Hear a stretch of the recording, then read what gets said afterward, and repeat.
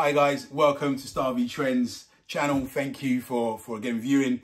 Yeah, so we got feedback and actually everyone liked the honest opinion. Not opening the box before the live or before the broadcast. So here we are guys. So got this they got this through 21st to the 12th, 2020. Um came came came through to the office and here we are. I'm just gonna open it up and we see what we got. I mean the good news are they're Adidas so it's not going to be too bad.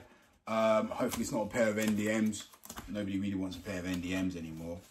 hey, listen, if you like, if you got a pair of NMDs, uh, look, I'm not hating, they're great. I used to have a pair. Um, I gave them to my, my, my, my son and, and we move on. So here we are. Ooh, ooh, Mr. Yeezy. Get some Yeezy. So here we go. Okay, I don't know which ones these are. Yeah, yeah, yeah, yeah. Thank you, Style versus Trend. La, la, la, la, la, la. All good, all good, all good, all good. Oh. Yeezy 700, baby. Here we go.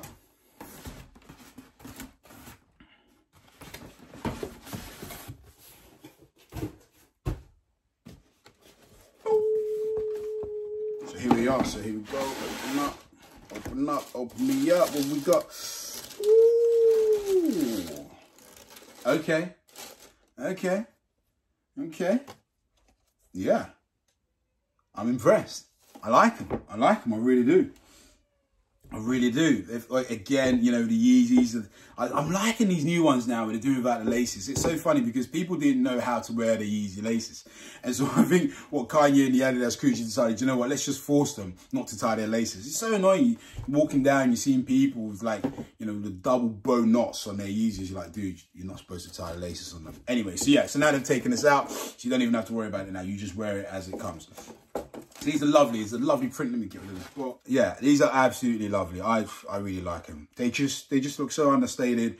The classic brown, just very simple design. Again, you know, the Yeezys always looks like an alien, don't they? I think that's the whole ethos, right? To look like um like an alien like would wear them. I mean, if I was an alien, I'll, I'll probably wear a pair of these. Probably a white pair because I do like the white pair.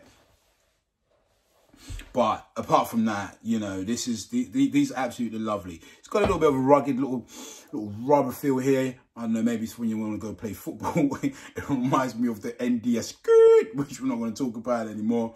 Um, but feeding on fruit. I mean, like little things like that. It makes you think, is this part of the train or is it not? So here you've got like the brown stitching going in and it doesn't match up to the left-hand side. So it's like, what's going on here? You know, is it is it a misprint? Is it mislabeled and stuff? And again, you know, just looking on through, it's all it's all fine and good, but like the precision of the glue is just just seems out a little bit. You know, you can see that there. It's like, oh, come on, I just I just spent all this money on these trainers and they just don't seem right. And that's exactly what happens here. But anyway, we've got the Adidas at the back. What we are finding more and more is that the Adidas are starting to brand more and more on the Yeezys, which is quite interesting. Kanye, what's going on? Um, again, this, this is quite interesting. But yeah, these, these, these are really cool. These are really cool. I like the colour, I like the simplicity of it. Yeah, we've got the reflective pair, as you see. See what the inlays are all about. Yeah, they feel quite quite rugged and hard. not as soft as you'd expect from the, you know, from a 350 boost. Um, yeah, they're quite quite hard and solid. It's actually really surprising. But again, what they really do really well is here for your for your ankles. It's really nice and supportive. The, te the you know the texture's just sweet on your hands and on your on your on your ankles and your Achilles. But yeah, these are the 700 V3 brown, or is it clay brown? Is it brown, clay brown, bruise, whatever. What, what you want to call it? It's not bruise, but it's, it's more more of a brown color. And I just feel like, like even here, it just seems very much ordinary. I mean, can I say that with a pair of Yeezys? That's what it feels like. It feels really ordinary.